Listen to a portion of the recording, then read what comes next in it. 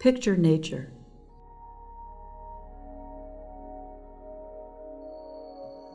Picture the Charles River in Boston and the city beyond. Maybe you grew up in a small town or in the suburbs where big trees like those on MIT's campus are familiar. Imagine nature in the city.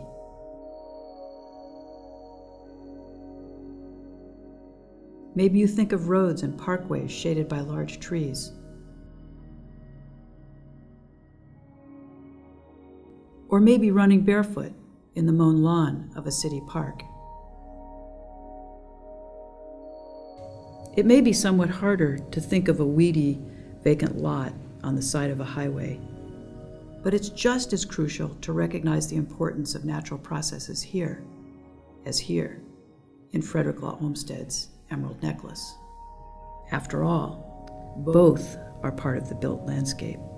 Every place in our cities was built upon a site formed without humanity's touch. It's almost impossible to see now, but the very ground on which MIT stands was placed there by people. Street trees in Beacon Hill are obvious markers of nature in the city. Whereas in Boston's Chinatown, there may appear to be none at all. But look more closely. Natural processes don't always announce themselves, and they aren't always beautiful. Natural systems in the city are far more than potted plants. Nature persists, even when boxed in or ignored. And ignorance of natural processes can be catastrophic. Understanding requires careful observation, a search for clues to the life of a tree, for example, and an open mind to integrate significant details into hypotheses.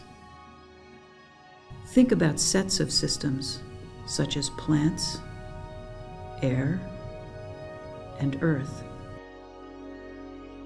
animals, the flow of water, the play of sun and shadow, and wind and how the interrelated histories of these systems have shaped the city's past, and how they'll shape its future.